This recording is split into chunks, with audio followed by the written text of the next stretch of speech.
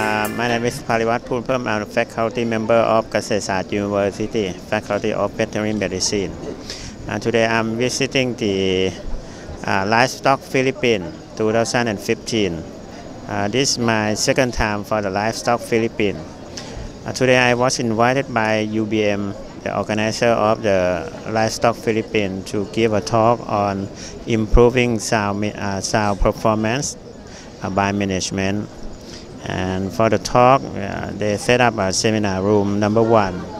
It's quite a medium size of the room, but today uh, for my talk, they are uh, very crowded in that room. I think uh, the enthusiastic of, of uh, Philippine farmers for the pig for the pig side is more more important, more interested. They are more interested in in in uh, some new knowledge to improve their performance.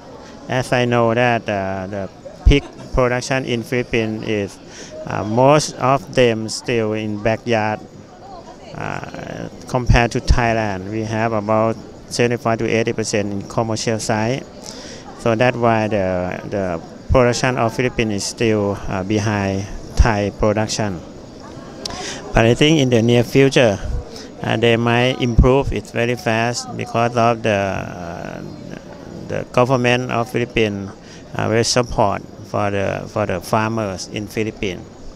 Uh, for the veterinarian side, I think uh, right now a lot of Thai company, even CP and other company come to Philippines more often, and they still have a lot of work for the veterinarians from Thai after the AEC uh, next year, there might be a lot of chances for Thai veterinarian to work uh, here in Philippines.